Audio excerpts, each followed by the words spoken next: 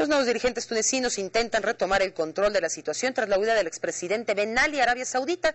La constante son saqueos y violencia en el centro y los suburbios que testigos atribuyen a partidarios del expresidente.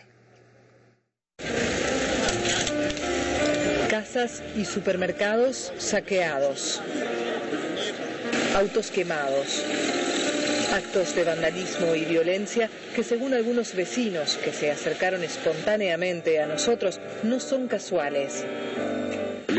Este tunecino dice que los saqueos en cuestión apuntaban claramente al patrimonio de la familia del expresidente.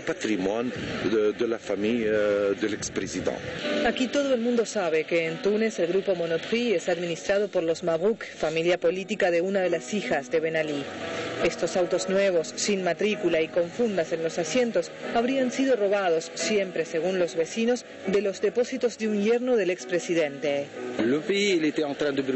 El país se estaba quemando y su yerno firmaba un acuerdo con la sociedad telefónica de 1.200 millones de dólares, mientras que el pueblo moría de hambre, afirma este tunecino.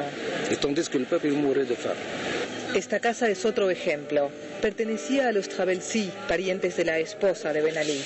Todas estas familias del entorno del expresidente hoy son acusadas de haber robado las riquezas del país y por lo tanto estos ataques se perciben como una venganza.